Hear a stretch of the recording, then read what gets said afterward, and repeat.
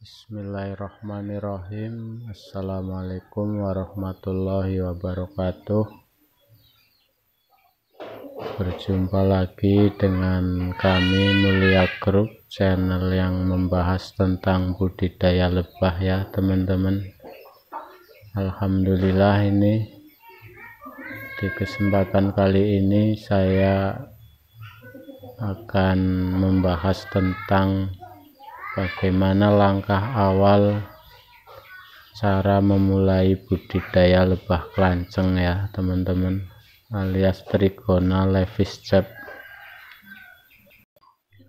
buat teman-teman semua saya ucapkan terima kasih banyak yang sudah mendukung channel ini. Yang belum subscribe silahkan subscribe Semoga channel ini bisa menginspirasi buat teman-teman semua dan bermanfaat tentunya ya teman-teman. Oke buat teman-teman semua yang mau memulai budidaya lebah kelanceng buat pemula yang pertama siapkan kotak ya teman-teman kotak ini tidak harus dari kayu bisa uh, bisa juga dengan bambu ya teman-teman.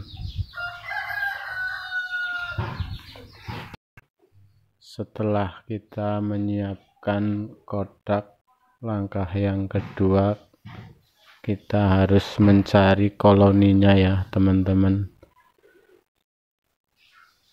Mencari koloni ini dengan cara berburu yang pertama bisa juga kita beli koloni ya di biasanya kami itu berburu di hutan-hutan ya teman-teman.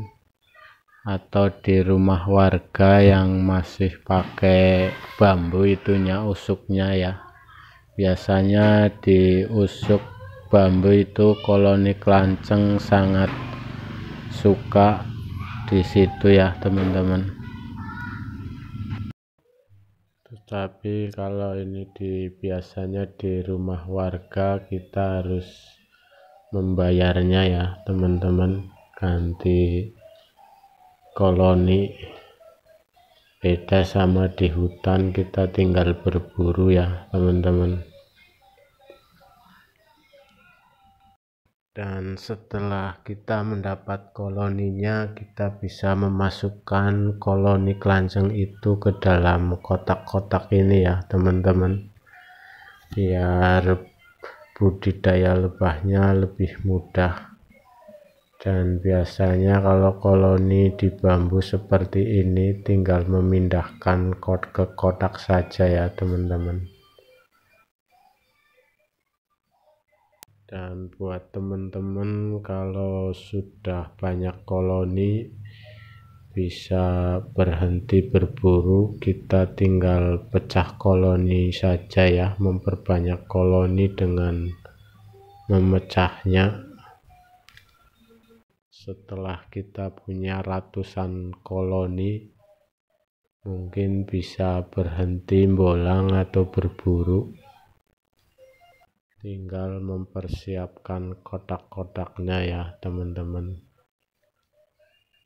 Dan langkah selanjutnya ini tidak kalah penting teman-teman.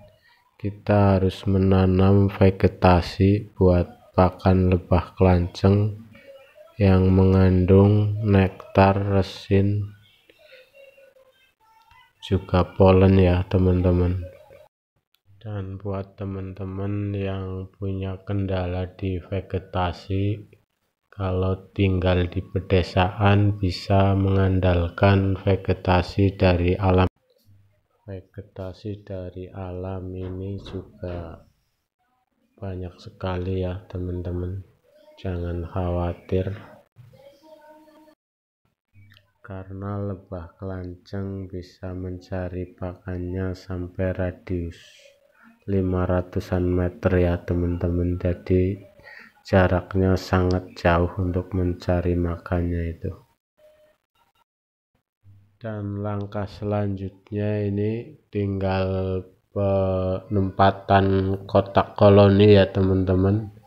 Tidak harus di tempat yang mewah atau gimana cukup di sekeliling rumah juga bisa atau di gubuk-gubuk dengan cara digantung seperti ini ya teman-teman. Bisa pakai tali rafia ini.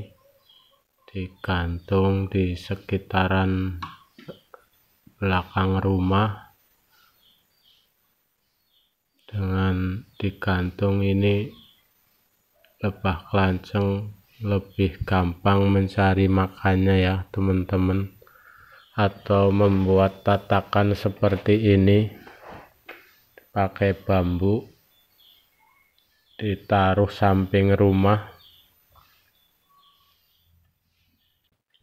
dengan cara seperti ini mungkin dari segi biaya kita bisa menghematnya ya teman-teman.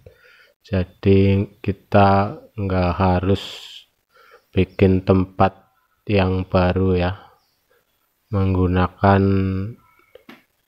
yang sudah ada di sekeliling kita. Oke teman-teman mungkin itu dulu. Cukup sekian. Semoga bermanfaat. Wassalamualaikum warahmatullahi wabarakatuh